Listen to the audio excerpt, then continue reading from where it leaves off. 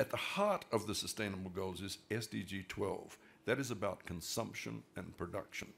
And we have to change our consumption and production patterns. And that's up to us as individuals as much as it's up to governments mm-hmm. to do so. Because we're just consuming too much, producing too much.